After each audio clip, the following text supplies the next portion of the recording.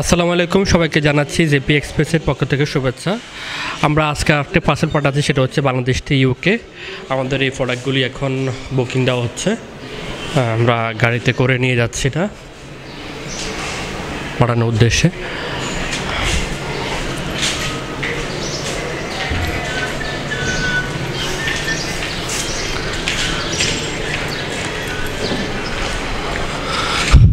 প্রতিনিয়ত আমাদের বাংলাদেশ থেকে প্রচুর প্রোডাক্ট যাচ্ছে এই মুহূর্তে ইউকেতে যারা বাংলাদেশ থেকে ইউকে পণ্য পাঠাতে চান তারা যোগাযোগ করুন আমাদের সাথে।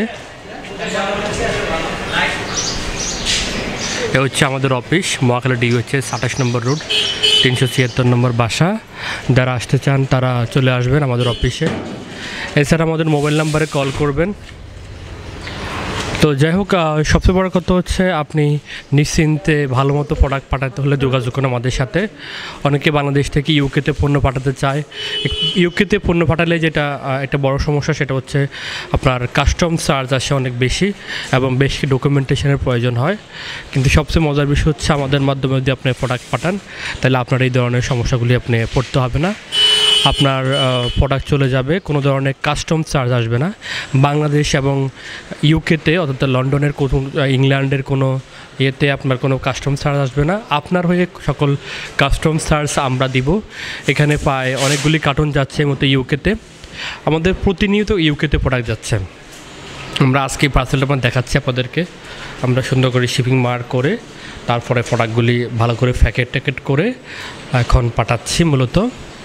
আমাদের যারা ক্যারি করে তারা মুহূর্তে কাজ করে যাচ্ছে।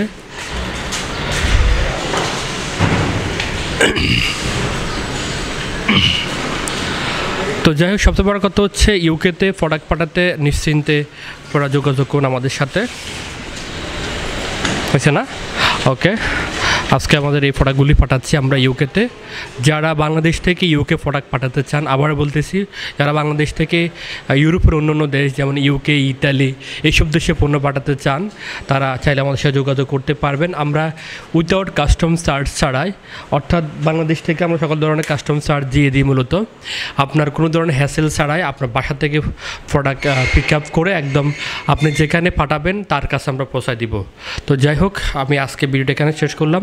মাঝে মধ্যে আপনার সাথে কথা বলব এবং আমাদের কার্যক্রম দেখাবো। আসসালামু আলাইকুম রহমতুল্লাহ বারাকাতু